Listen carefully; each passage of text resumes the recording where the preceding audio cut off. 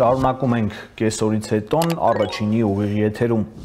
Միացյալ Նահանգները կարծես որոշել է 40 F-16 կործանիչներ վաճառել Թուրքիային, նույնքան F-35 էլ Հունաստանին։ Թուրքական մամուլը գրում է, որ Հունաստանի վարչապետ Միցոտակիսը Գարնանը կայցելի Անկարա։ Անցյալ տարեվերջին Աթենք էր այցելել Թուրքիայի նախագահ Էրդողանը։ Կողմերը գոնե առերևույթ հրճակել են, որ հարաբերություններ կզարգացնեն 3 համերաշխ, եկեք համերաշխ ապրենք սկզբունքով։ Թուրքիան եւ Հունաստանը ՆԱՏՕ-ի անդամ են։ Դաշինքը թվում է կարողանում է իրավիճակի կտրուկ սրացում թույլ չտալ, բայց Թուրքիան միևնույն է, իրեն անտեսված է զգում։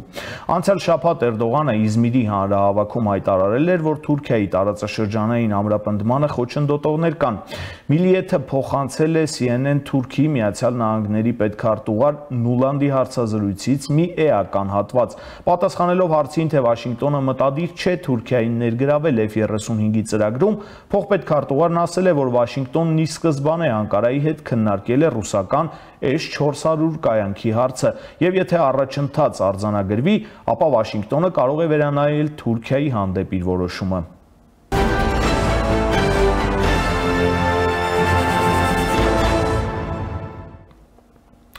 Ռազմական ոլորտի փորձագետներն ասում են, որ նահանգները զգուշավորություն ունի, որ ռուսական հակաօթային պաշտպանության կայանքը կարող է ամերիկյան գեր ժամանակակից օթուժի գաղտնիքներ որսալ։ Թուրքիան ժամանակին հակադարձել է, որ Հունաստանն ունի ռուսական S-300 համակարգեր, բայց Դա չի խանգարում, որ Վաշինգտոնը գեր ժամանակակից օթուշ տեղակայի ՆԱՏՕ-ի անդամ այդ երկրի տարածքում։ Տեխնիկական կամ տեխնոլոգիական ինչ խնդիրների մասին է խոսքը, կարող են բարձրակարգ մասնագետները դատել։ Իրողություն է, որ Ամերիկան Թուրքիային F-35 չի վաճառում, քանի դեռ կարգավորված չէ ռուսական S-400 հակահրթիռային համակարգի հարցը։ Պարզ ասած, խնդիր է դնում, որ Թուրքիան հրաժարվի այդ համակարգից։ Տարաձայնությունը նոր չէ։ Մի քանի տարի առաջ թուրքական եւ ադրբեջանական մամուլում տեղեկություն է տարածվել, որ Թուրքիան կարող է այդ հանգամանքը փոխանց համակարգը փոխանցել Ադրբեջանին։ Մերձավոր Արևելքում ազդեցության սուր մրցակցություն է ոչ միայն ուժային ավանդական կենտրոնների, այլև տարածաշրջանային միանգամից մի քանի երկրի միջև։ Թուրքիան հայտարարել է սեփական 5-րդ սերնդի կորցանիչ արտադրելու պետական ծրագրի մասին։ Ըստ երևույթին Կանադայի կողմից Թուրքիային ռազմական տեխնոլոգիաների վաճառքի արգելքի վերացումը կապված կապված է ոչ միայն անօթաչուների արդիականացման, այլև այդ ծրագրի հետ։ Բացառված չէ, որ սեփական գերժամանակակից կործանիչներ ստանալու պետական նպատակի քարոշչությունը դիվանագիտական հավելյալ ռեսուրս է։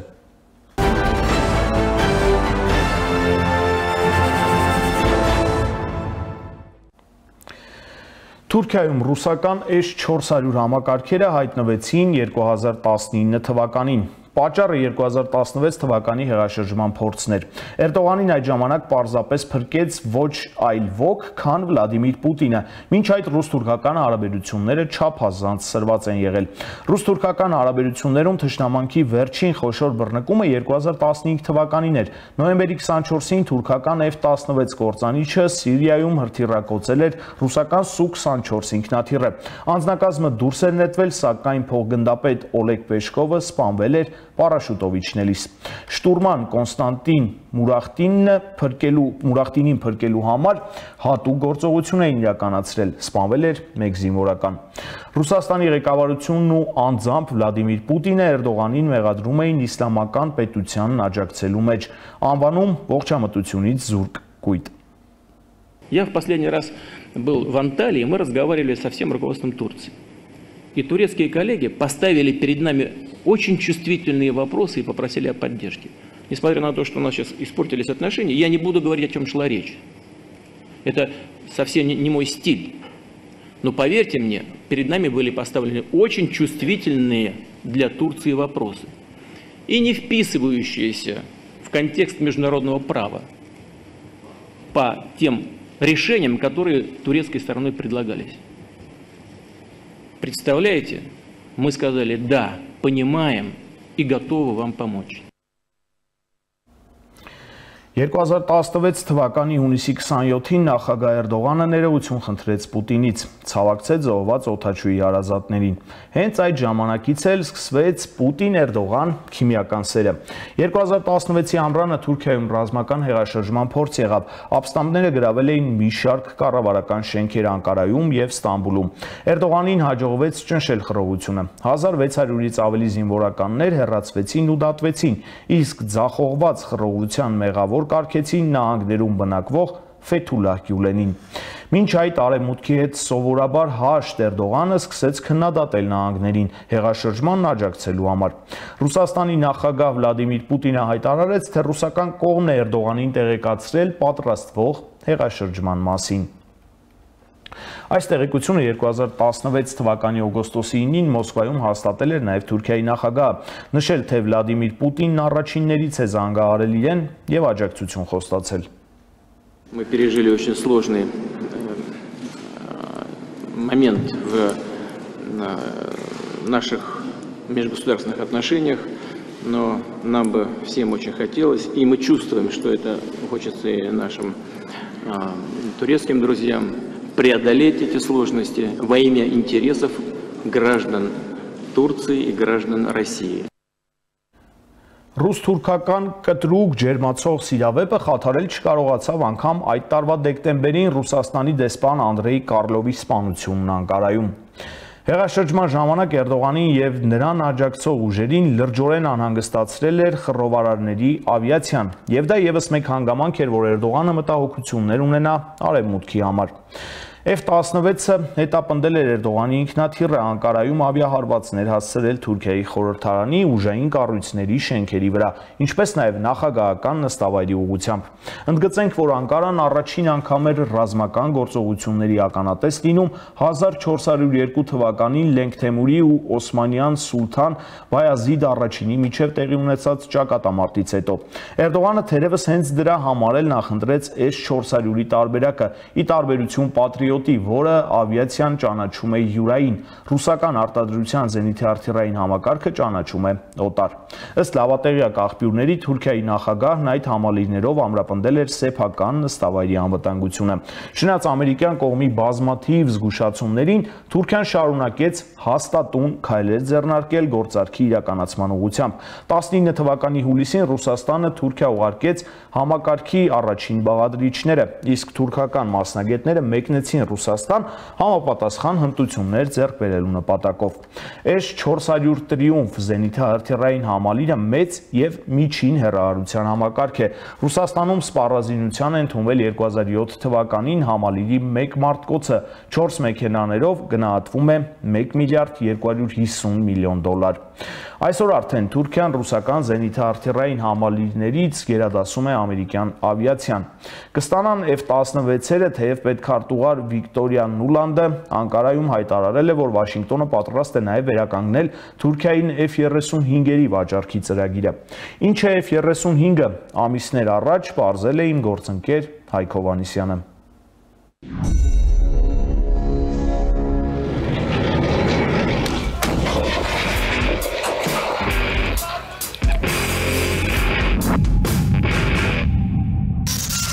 Ժամանակակից պատերազմում մի կարևոր բան կա՝ օթային գերակայությունը, ինչը սակայն չի երաշխավորվում պատերազմում հաղթանակը, բայց միանշանակ կարելի է ասել, որ առանց դրա չափազանց խնդրահարույց է հաջողությամբ իրականացնել ռազմական գործողություններ։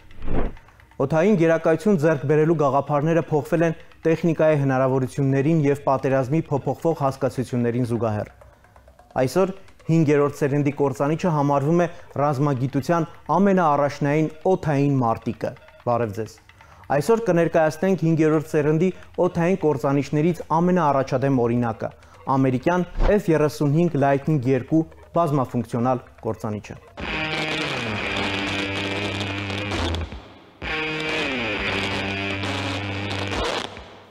F-35 Lightning 2-ն ունի բարձր մանևրելու ունակություն եւ արագություն։ Առաջադեմ տեխնոլոգիաներ, այդ թվում հայտնաբերման, կապի եւ սպառազինության համակարգեր։ F-35-ը նաև օգտագործում է գաղտնի տեխնոլոգիա՝ թշնամու ռադարների համար անտեսանելի լինելու համար։ F-35-ը բազմաֆունկցիոնալ կորզանիչ է, որն ունակ է կատարել բազմաթիվ առաքելություններ օդում, ցամաքում եւ ծովում։ F-35 Lightning 2-ը հագեցած է առաջադեմ հակաէլեկտրոնային միջամտության եւ գաղտնի տեխնոլոգիաներով, որոնք նվազեցնում են ինքնաթիռի ռադարային, օպտիկական եւ ինֆրակարմիր տեսանելիությունը։ F-35-ն ունի նաև յուրահատուկ մանևրելու արագության եւ հեռահարության բնութագրեր, որոնք թույլ են տալիս առաքելություններ կատարել մեծ հեռավորությունների վրա եւ տարբեր պայմաններում։ Այն ունի նաև զենքի կառավարման առաջադեմ համակարգ եւ հզոր էլեկտրոնային օպտիկական տեղորոշման կայան, որոնք թույլ են տալիս հայտնաբերել եւ ներգրավել թիրախները մեծ հեռավորությունների եւ բարձրության վրա։ F-35 Lightning 2-ը շահագործման է հանձնվել 2011 թվականին եւ մինչ օրս հանդիսանում է աշխարհի ամենաառաջադեմ բազմանպատակային կործանիչներից մեկը։ Նա մասնակցել է տարբեր հակամարտությունների եւ գործողությունների, այդ թվում Աղվանստանի պատերազմին եւ ահաբեկչական խմբավորումների դեմ պայքարին, Սիրիայում եւ Իրաքում։ F-35 Lightning 2-ը կարևոր դեր է խաղում Միացյալ Նահանգների եւ նրա դաշնակիցների ազգային անվտանգության մեջ։ F-35 Lightning 2-ն ունի բազմաթիվ առաջադեմ տեխնոլոգիաներ եւ յուրահատուկ առանձնահատկություններ։ Ահա դրանցից մի քանիսը։ Stealth տեխնոլոգիաներ, որոնք թույլ են տալիս նվազեցնել օթանավի ռադարային, օպտիկական եւ ինֆրակարմիր տեսանելիությունը։ Էլեկտրոնային օպտիկական տեղակայման կայան, որը հայտնաբերում է թիրախները մեծ հեռավորությունների վրա եւ բարձրության վրա, թույլ է տալիս օգտագործել ճշգրիտ զենքեր եզակի հակաէլեկտրոնային միջամտության համակարգ, որը պաշտպանում է ինքնաթիռը ռադարային միջամտության հետևանքներից եւ թույլ է տալիս այն աննկատ մնալ թշնամու ռադարների կողմից։ Զենքի կառավարման համակարգ, որը թույլ է տալիս կատարել առաքելություններ օգտագործելով օթային եւ ցամաքային զենքերի լայն տեսականը բարելավված շարժունակություն եւ արագություն, որը թույլ է տալիս առաջադրանքները կատարել ավելի երկար հեռավորությունների վրա եւ տարբեր պայմաններում։ Թրիչկի կառավարման ավտոմատ համակարգ, որը հեշտացնում է օթաչուի աշխատանքը եւ բարելավում թրիչկների անվտանգությունը լիաժեք բազմաֆունկցիոնալ 5-րդ սերնդի միակ կորզանիչն է F35-ը։ Այս պահին ինքը 5-րդ սերնդի կարելի ասել հիմնական կորզանիչ է դարել, որովհետև իր քանակը եւ իր վրա դրած բազմաֆունկցիոնալ սպասումները, տեխնոլոգիական լուծումները աննախադեպ են աշխարհում։ Ինչքան էլ ռուսական, չինական պրոյեկտները գովազդվեն, այսպես ասեմ, հա, սար ու ձորերի տարբերություն կա F35-ի եւ ռուսական կամ չինական պրոյեկտների մեջ։ Իր ռադիոտեխնիկական հնարավորությունները ֆանտաստիկ մեծ են։ Ինֆրակարմիր հայտնաբերման դահլիճները 1200 կիլոմետրի վրա հայտնաբերում են դիմացի հրթիռի ֆակելը։ Օրինակ ինքը ֆիքսում է պայմանական ասած ռուսական կամ չգիտեմ ինչ որ եվրոպական որևէ ինքնաթիռի, չէ։ Ինքը այս ինքնաթիռի թռիչքի դինամիկայի ամբողջ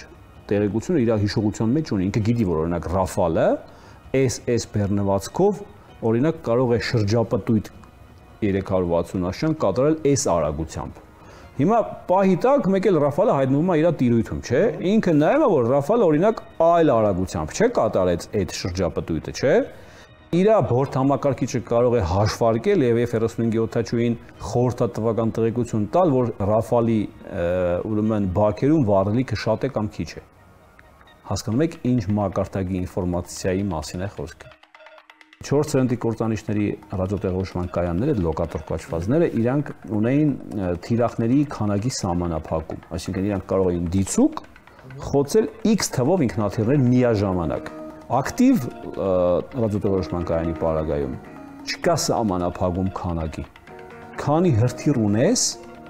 այդքան միաժամանակ կարող ես թիրախ խոցել։ Սա F35-ի առաջի խաղակարտերից մեկն է։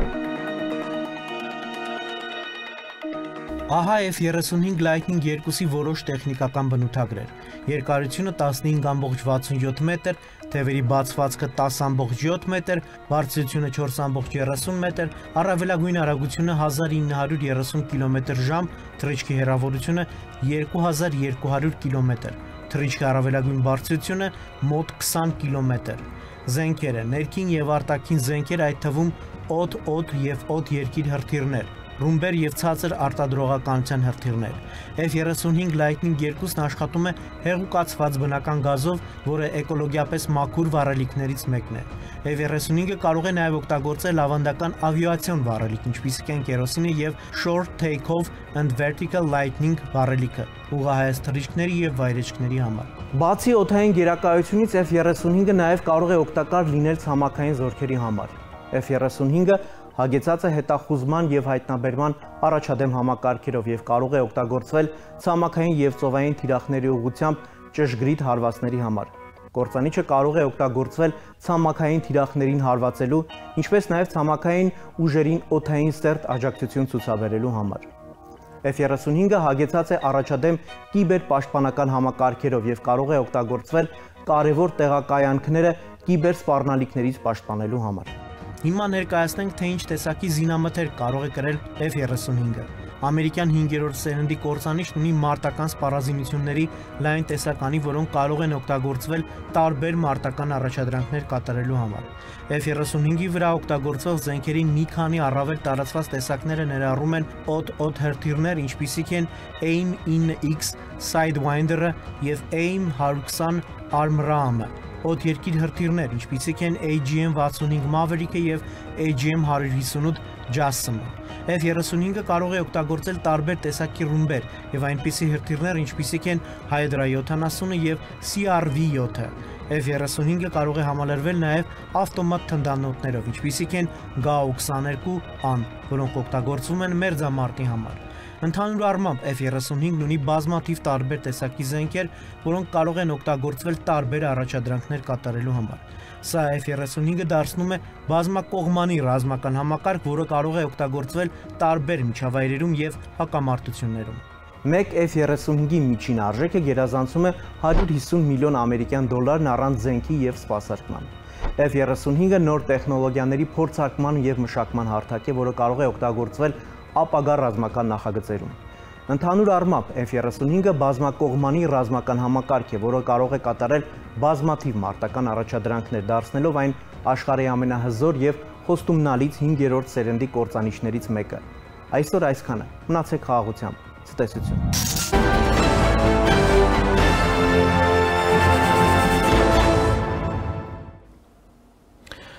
Ֆրանսիայի նախագահ Էմանուել Մակրոնը Շվեդիայի պաշտպանական ակադեմիայի միելույթի ժամանակ հայտարարել է, թե Ռուսաստանի հաղթանակը կբերի Եվրոպայի անվտանգության ճարտարապետության փլուզման, որը իր ազդեցությունը կթողնի նաև Կովկասում եւ Կենտրոնական Ասիայում։ Ֆրանսիայի նախագահ նստ ամենայնի փորձում է համոզել եվրոպացիներին ձևավորել միասնական ճակատ եւ զբաղվել եվրոպական սուվերենության խնդրով, որը Մակրոնը ձևակերպել է դեռևս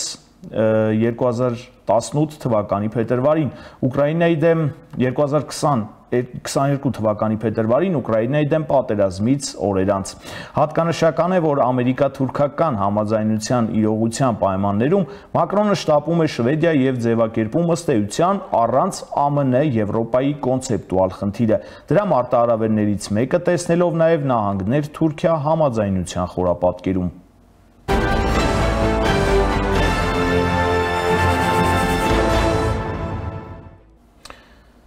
Երեք Reuters-ը վկայակոչելով թուրք պաշտոնյաներից մեկին հաղորդեց, որ փետրվարի 12-ին Ռուսաստանի նախագահ Վլադիմիր Պուտինը կմեկնի Թուրքիա։ Գործակալությունը հիշեցնում է, որ դա Ռուսաստանի նախագահի առաջին այցը կլինի ՆԱՏՕ-ի անդամ պետություն 2022 թվականի փետրվարին Ուկրաինա ներխուժման մեկնարկից ի վեր։ Այցի օրակարգն առայժմ չի հստակեցվում։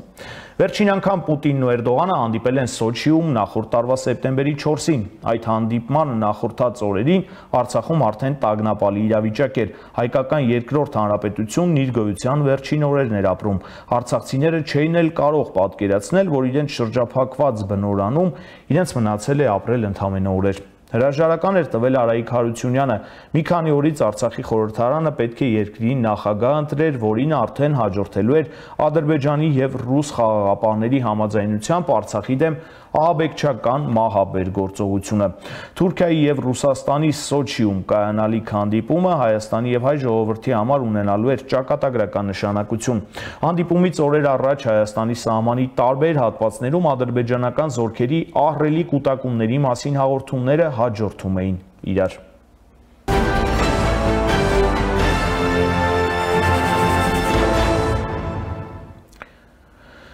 Սեպտեմբերի 1-ին Ադրբեջանը լարում է իրավիճակը սոտքի ուղությամբ, ինչի հետևանքով հայկական կողմը հաղորդում է երկու զոհի եւ մեկ վիրավորի մասին։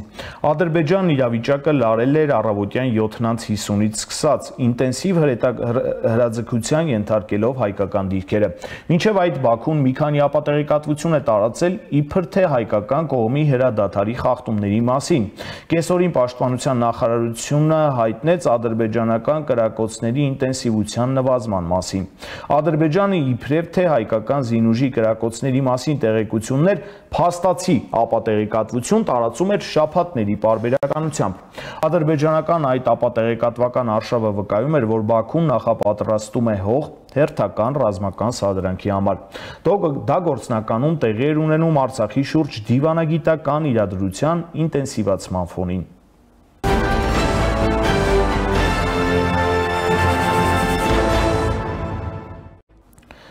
Սեպտեմբերի 1-ի երեկոյան լույս շաբաթօրը Հայաստանի վարչապետ Նիքսի իր միկրոբլոգում գրում է. Այսօր ադրբեջանական զինուժը անօթաչու թռչող սարքերի եւ ականանետների կիրառմամբ գրոհել է Սոդքի եւ Նորաբակի ուղությամբ գտնվող հայկական մարտական դիրքերը, ինչի հետևանքով զոհվել է 3, վիրավորվել 2 զինծառայող։ Հայաստանի տարածքային ամբողջականության դեմ ոտնձգությունները, որոնք զուգորդվում են ռազմատենչ ռետորաբանությամբ, Ադրբեջանի քաղաքականության շարունակությունն են։ Հայաստանի վարչապետ Նիկոլ Փաշինյանը սեպտեմբերի 9-ի առավոտյան հերրախոսազրույցներ է ունենում ԱՄՆ պետքարտուղար Բլինքենի, Իրանի նախագահ Ռայիսիի, Ֆրանսիայի նախագահ Մակրոնի եւ Գերմանիայի կանցլեր մինիստր Շոլցի հետ։ Դրանց ընթացքում Փաշինյանը քննարկում է Լեռնային Ղարաբաղում ստեղծված իրավիճակը, նաև Ղարաբաղի ու Ադրբեջանի շփման գծում եւ Հայաստան-Ադրբեջան սահմանին Ադրբեջանի զինուժի եւ զինտեխնիկայի կൂട്ടակումների լարվածության աճի հետ կապված հարցերը։ Ուշադրության է արժանի թերևս նաև հանգամանքը, որ հերրախոսազրույցները տեղի էին ունենում Հնդկաստանում մեծ 20-յակի վեաժողովի մեկնարկից ընդամենը ժամեր առաջ։ Բլինքենը, Մակրոնն ու Շոլցը վեաժողովի մասնակից մասնակիցների թվում էին։ Դելիում նախատեսված էր մեծ 20-ի բոլոր ղեկավարների հավաքը, բացառությամբ Ռուսաստանի եւ Չինաստանի նախագահների։ Օրեր անց սեպտեմբերի 19-ին ռուս խաղաղապահներին ընդամենը տեղյակ պահելուց հետո Արցախի դեմ այսպես կոչված հակահաբեկչական օպերացիայից հետո պիտի པարզ դառնար, որ Ադրբեջանը մի շաբաթ առաջ անում էր հնարավորը Հայաստանի հետ դիմահար պատերազմի բռնվելու, նրան պատերազմի մեջ ներքաշելու եւ Հայաստանի տարածքի նկատմամբ հարձակումը լեգիտիմացնելու համար։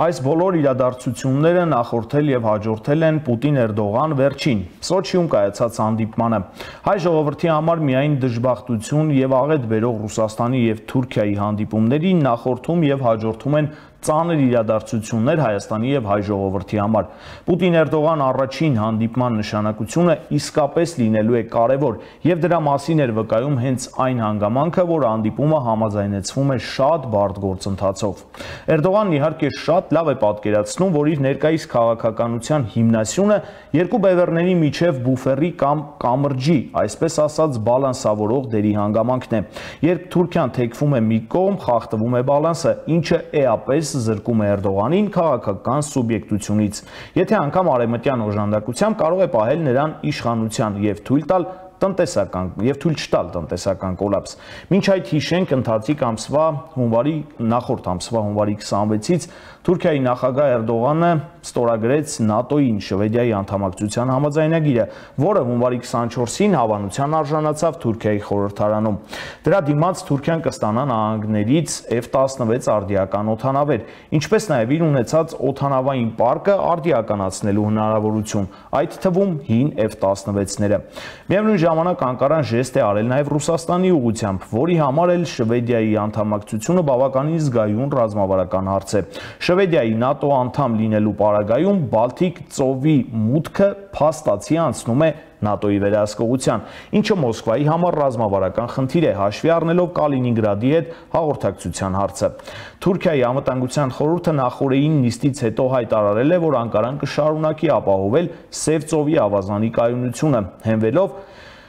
Մոնտրոյի պայմանագրի վրա։ Սև ծովում կայունության հարցում Թուրքիայի աջակցությունը Ռուսաստանի համար ունի նույնպես կարևոր վկայություն եւ հնարավոր է որ Անկարան մի ձեռքով Հավանություն տալով Շվեդիայի ՆԱՏՕ-ի անդամակցելուն, մյուս ձեռքով Ռուսաստանին է ակնարկում, որ չի տա ՆԱՏՕ-ի ակտիվ գործողությունները Սևծով, թույլ չի տա ՆԱՏՕ-ին ակտիվ գործողություններ իրականացնել Սևծովյան ավազանում։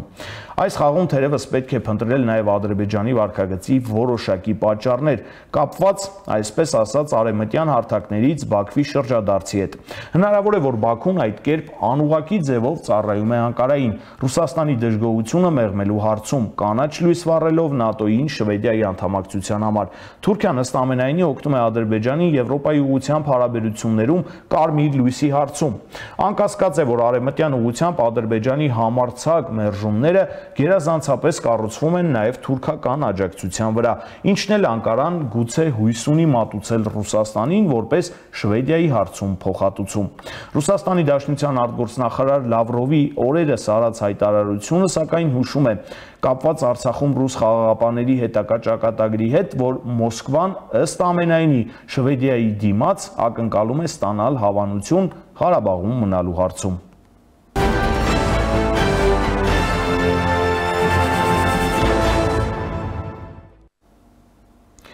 Իր հերթին Չինաստանը չի հրաժարվի ուկրաինական հարցում Ռուսաստանին աջակցելուց։ Չնայած Միացյալ Նահանգների ճնշմանը, Ռուսաստանի պաշտպանության նախարար Սերգեյ Շոյգուի հետ տեսակոնֆերանսի ընթացքում հայտարարել է Չինաստանի նորանշանակ պաշտպանության նախարար Դոնգ Ջունը։ Չինաստանի պաշտպանության նախարարի հայտարարությունը վկայում է, որ Դիմակայությունն ուկրաինական ճակատում շարունակվելու է աճող միտումով, չնայած ուշադրության անկման առերևույթ դրսևորումներին։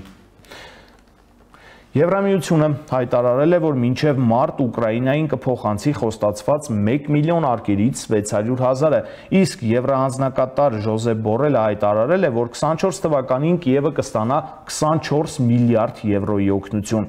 Ռուսաստանի Դաշնության նախագահ Վլադիմիր Պուտինը պատասխանելով հարցին, թե որտեղ պետք է անցնի ապառազմականացված գոտու գիծը, որ เป զի Ռուսաստանի Դաշնության սահմանային բնակավայրերը լինեն ապահով, հայտարարել է, որ այդ գիծը պետք է լինի այնքան հեռու, որ Ռուսաստանի բնակավայրերը հասանելի չլինեն հերրահար հրթիռների համար, որ արևմուտքը տրամադրում է Կիևին եւ որոնցով Կիևը թիրախավորում է բնակավայրերը։ Պուտինի հայտարարությունը կարող է նշանակել, որ նախագահի ընտրությունից հետո կամ դրան զուգահեռ ռուսական կողմը կարող է ձեռնարկել ուկրաինական ճակատում հարձակման եւ նոր տարածքներ գրավելուն ուղղված գործողություններ։ Օրեր առաջ ամերիկյան մամուլում հրապարակվել էր տեղեկություն, որ Վաշինգտոնը Կիևին խորհուրդ է տալիս անցնել խորը պաշտպանության ինչը թերևս նշանակում է, որ այդ փուլում ուկրաինական հա- հակահարցակման ձախողումից հետո դրվում է խնդիր թույլ չտալ տարածքային նոր կորուստներ։ Միաժամանակ այսօր հայտնի է դարձել, որ առաջիկա օրերին Վաշինգտոնը Ուկրաինային կփոխանցի 150 կիլոմետր հեռահարությամբ հրթիռները։ Համաշխարհային պատերազմը ըստ ամենայնի հավաքում է նոր եւ ավելի մեծ պտույտների թափ։ Ավելորդ է խոսել այն իրավիճակի մասին, որ արկա է մերձավոր արևելքում։ Սրանք երկու առանցքային ուղություններ են, որոնք ուղիղ իմաստով սեղմում են Կովկասի անվտանգության միջավայրը եւ գործնականում բացում խաղաղության պայմանագրի կնքման միտված որևէ կայուն եւ իրական գործընթաց։ Հայաստանը պետք է խոսի խաղաղությունից, ձևակերպի խաղաղությունը որպես նպատակ եւ միևնույն ժամանակ հենց այդ նպատակը սպասարկելու համար պետք է առավել արագ եւ դինամիկ քայլերով բազմապատկի ներքին կարողություններն ու դիմաց դիմադրողականությունը, համալիր սպառազինության պաշարն ու կազմակերպչական կարողությունները, ինչպես նաև ձևավորի քաղաքական որոշումներ կայացնելու միջավայր։ Այդ ամենին զուգահեռ իհարկե բազմապատկելով դիվանագիտական բազմաշերտ աշխատանքը։ Ընդ որում տրամաբանությունը պետք է լինի այն, որ պաշտպանական կազմակերպչական ներքին կարողությունները լինեն դիվանագիտական աշխույժ ջանքի հենք, թույլ չտալով իրավիճակը հասցնել մի կետի, երբ դիվանագիտությունը ստիպված կլինի դառնալ ռազմական գործողությունների թիկունք։ Զուգահեռ Հայաստանը թերևս պետք է աստիճանաբար հրաժարվի իր խաղաղասիրությունն ապացուցելու անիմաստ փորձից։ Առավել եւս, որ այդ հարցում Երևանը վաղուց շոշափում է ասպեկտներ, որոնք թերևս առնվազն ժամանակային վեկտորի իմաստով ավելի շուտ աշխատում են Հայաստանի դեմ, քան խաղաղության օգտին։ Ի վերջո, ժամանակակից աշխարհում չկա այդ օրինակ ապացույցների անհրաժեշտություն եւ կարիք, քանի որ չկան գերտերությունների համար գաղտնիքներ։ Խաղակարտերը ըստ էության վաղուց դասավորված են եւ ընթանում է զգալիորեն բաց խաղ։ Թեման առաջիկա րոպեներին քննարկելու նպատակով տեսակապի օգնությամբ միացել ենք Լիբանան, Բեյրութ եւ զրուցելու եմ ազդակ օրաթերթի գլխավոր խմբագիր Շահան Գանտահարյանի հետ։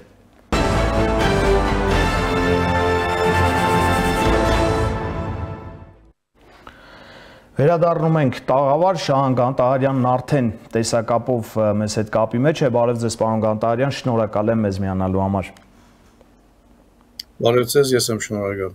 Պարոն Կանտարյան, Թուրքիան Ադրբեջանի F16 կործանիչներ կտրամադրի, դրա դիմաց ըստ էության ստացել են Շվեդիայի ՆԱՏՕ-ի անդամակցության Թուրքիայի հաստատումը եւ կարելի է ասել, որ Թուրքիայի ու ԱՄՆ-ի հարաբերությունները որոշակիորեն իհարկե այս գործընթացով բարելավում են, որոշ խնդիրներ կարելի ասել մի կողմ են թողնում կողմերը։ Այս իրավիճակը ինչպես կարող է ազդել մերձավոր արևելքում տիրող որոշակիորեն պայթյունավտանգ վիճակի վրա։ Գարզում եմ, որ սպասված քայլ էր, որ Թուրքիան վերացնի իր արկելքը վետոն Շվեդի ՆԱՏՕ-ի անդամակցությանը եւ շատ կարեւոր էր պետքարտուղարության ներկայացուցիչի հայտարարությունը, որ անվտանգության եւ տնտեսության ոլորտներում Թուրքիան վերաթարնում է լրիվ Միացյալ Նահանգների հետ համադեղ աշխատանքի եւ ուրեմն այդ համագործակցությունը շարունակելու առումով ուրեմն հայտարարությունում կար երկու պաղատրիչ անվտանգային եւ տնտեսական եւ բարձ է որ նաեւ Թուրքիայի ֆինանսական քաղաքականությունը հերագարավարվում է Միացյալ Նահանգներից եւ սա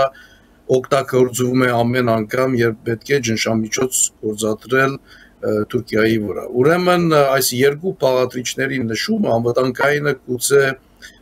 գործանիչների ուրեմն վաճառքը դրամատրումը հիմնականը որը նաև կորձոն էր ուրեմն թուրք-ռուսական հարաբերություններում եւ հանկույց պաստորեն թուրք-ամերիկյան հարաբերություններում այս ծևով կարող է ուրեմն հանկուսալուծվել շատ կարևոր շրջադարձային քայլ է չնայած սպասվող, որովհետև ի վերջո Ռուսաստանի Դաշնությունը շրջաբատվում է ՆԱՏՕ-ի ուժերով եւ այստեղ գիտեք Թուրքիան մի կողմից ռազմավարական գործընկերությունը խորացնում է Ռուսաստանի հետ, մյուս կողմից նպաստում է, որ Ռուսաստանը շրջաբադվի ՆԱՏՕ-ի ուժերով եւ դրա զուգահեռ էր, որ ՆԱՏՕ-ի ներկայացուցիչը նաև Ռուսաստանի թեմ զինվորական ռազմական պատրաստվածության քալու կոչեր հնչեցրեց եւ սա լուրջ հարված է Թուրքիային, որքան էլ Թուրքիան փորձի բալանսավորել իր թերը եւ արեմուտքի հատկապես Միացյալ Նահանգների եւ Ռուսաստանի միջև Շվեդիայի ուրեմն անդամակցությունը ՆԱՏՕ-ի գարձում եմ լրջակույն հարված է Մոսկվայի եւ այստեղ Թուրքիայի խուսանավման քաղաքականությունը որոշ առումներով նեղ դրվածքի է ուրեմն սա գազդի գենտատրեմ նաև միջինարևյան դարաձաշրջանում, որովհետև հատկապես եթե գազայի հակամարտությունը նկատի ունենանք եւ Թուրքիայի թերը այստեղ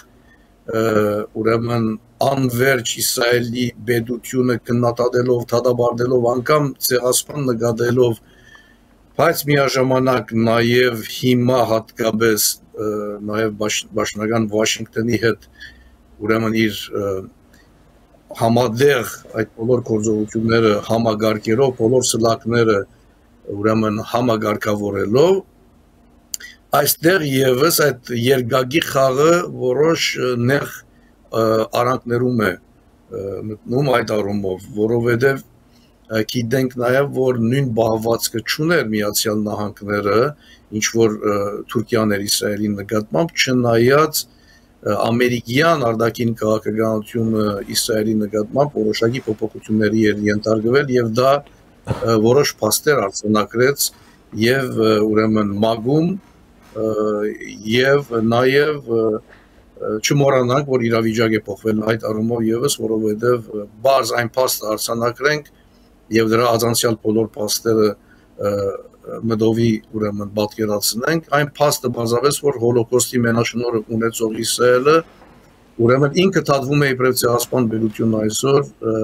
արտարատության միջազգային դատարանում։ Անկախ արդյուն, արդյունքից, վճիրից այդ փաստը կարևոր է, ուշագրավ է եւ ցուցիչ ընդհանուր քաղաքականության որոշակի փոփոխությունների առումով։ Պարոն Կանտարյան,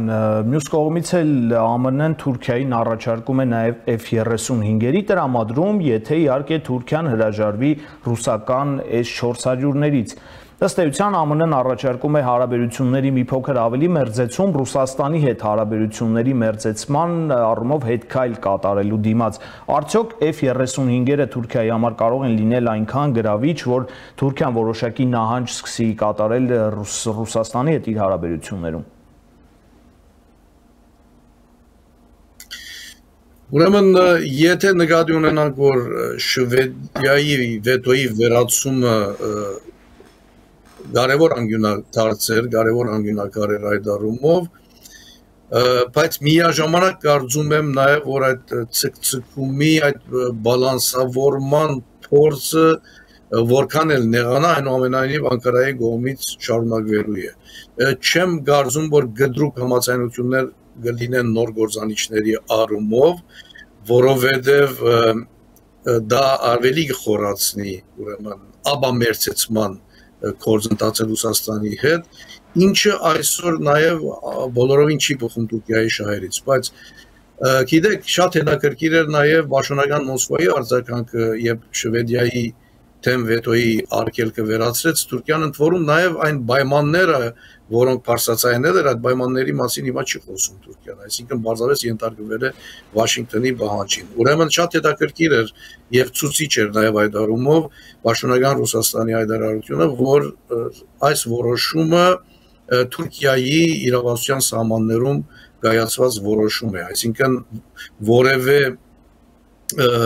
բացասական արձագանք չէր հնչեցնել, չնայած կարծում եմ, որ Ռուսաստանը այս որոշումով խորաբես անհանգստանալու բոլոր պատճառները ունի, որտեղ ի վերջո իր սահմաններում դեղագայվելու են ՆԱՏՕ-ի ուժերը։ Այսինքն Ռուսաստանի համար այսօր Թուրքիան շարունակում է մնալ փրկողակ այս ընդհանուր դարաձաշրջանային աշխարհակաղակական գործընթացներում հատկապես նկատի ունենալով Ուկրաինայի պատերազմը։ Պարոն Գանտահարյան, Ռուսաստանը ըստ էության Թուրքիայի եւ Ադրբեջանի շուրթերով որոշակի պահանջներ է ներկայացնում նաեւ Հայաստանին եւ մենք գիտենք, որ իհարկե հավակնություն ունեն Սյունիքի նկատմամբ, Լավրովի վերջին ասուլիսից էլ կարելի է դատել, որ Շվեդիայի անդամակցության թույլատրման դիմաց կարելի ասել Թուրքիան ու Ադրբեջանը համատեղ ինչ որ բան են խոստացել Ռուսաստանին Արցախում, ամենայն հավանականությամբ նրանց խաղաղապահների ներկայությունն են խոստացել երկար ժամանակով այնտեղ, բայց հիմա առաջիկայում սպասվում է նաև Պուտին-Էրդողան հանդիպում, ու մենք գիտենք, որ նման հանդիպումներից թե առաջ, թե հետո Հայաստանի համար սովորաբար որոշակի իրավիճակ է փոխվում, որոշակի լարվածություն առաջանում։ Կարող ենք ենթադրել, որ մոտ ապագայում սպասվող Պուտին Էրդողան հանդիպումից հետո Ադրբեջանը որոշակիորեն կարող է կոշտացնել, ելի կոշտացնել իր ռետորաբանությունը եւ ելի հերթական պահանջները ներկայացնել Հայաստանին։ Այո, Ադրբեջանի հրետորաբանության կոշտացումը ծեր նշած հանգամանքներով պայմանավորված է, բայց նաև ներքին լսարանի օգտագործման մանավանդ այս թայմինգին, այսինքն նախնդրական պաստորեն նախնդրական կարոզարշավի մեջ է Ալիևը եւ այդ կոնտեքստում նաև պետք է ընկալել այս հրեդորապանության սաստկացումը, բայց կալով Մոսկվա, ուրեմն Անկարա հարաբերությունների կորզարկային ուրեմն այդ ընդհանուր կորզընթացը եթե նկատի ունենանք երկու գետ երկու առաջադրանք շատ ամիջական տեսանելի է նախ իհարկե Արցախում Ղարաբաղ ուժերի դերակայման ցկումը Ռուսաստանի ուժերի եւ երկրորդ ուրեմն Սյունիքի անցքի ճանապարհների վերահսկողության խնդիրը, որովհետեւ Մոսկվայի ներկայացուցիչները անverջ հողում են անում նոյեմբեր 9-ի Երագոմ հայտարարությանը, որը իդեպ ժամանակավրեպ է ըստ էության չեղարկվել է ինքը փաստաթուղթը ժամանակավրև է, բայց դրա 9-րդ գետը մնում է հրադապ որովհետև եթե Թուրքիան եւ Ադրբեջանը ստանում են ճանապարհը, այսինքն Ադրբեջան նախ ուրեմն Նախիջևան Ադրբեջան գաբը ցամաքային մյուս կողմից Ռուսաստանը ուրեմն ստանալու է այս դրույթով ստանալու է այդ ճանապարհի ռազմավարական նշանակություն ունեցող այդ ճանապարհի վերահսկողության կորզալույթը սա է առաջադրանքը եւ կարծում եմ նաեւ որ այստեղ այս բանացևը գաշխատի երկու պետությունների մոդեցումների մեջ, բայց չեմ կարծում որ դա հեզասար կստացվի, որտեղ եւ Իրանը եւ Արևմուտքը բոլորովին այլ պատկերացում ունեն այդ ճանապարհի ղարկավիճակի եւ հատկապես վերահսկողության ուժերի փաղադրության շուրջ։ Այսինքն ուզում եմ ասել, որ չկա դարաձաշրջանային աշխարհակահաղական կոնսենսուս Սյունիքի ջամփով դրվելիք ցամաքային ճանապարհի ղարկավիճակի եւ վերահսկողության փաղադրության շուրջ, ինչը ենթադրում է, որ թերևս այդ համացայնությունը թերևս դեսաների չէ։ Գարջաժամկետ տրվածքով կոն է։ Պարոն Գանտարյան, շնորհակալ եմ, որ ժամանակ գտաք մեզ միանալու համար։ Զրուցում էի Շահան Գանտարյանի հետ